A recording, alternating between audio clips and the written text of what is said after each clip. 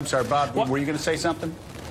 Well, real quick, I just wanted to say one other takeaway as I leave Atlanta is the Russia issue and President Trump's handling of these investigations, the special counsel. When I'm in Washington, that's a consuming issue for Democrats. It alarms even some Republicans. On the ground in Georgia, moderate suburban Republicans were not talking about Russia. So if Democrats want to win them over, they perhaps have to listen to Co- Congressman Ford, who's talking about this economic message, because I just don't see Russia breaking through yet with mm-hmm. Republican voters as an issue that's going to turn them to the left.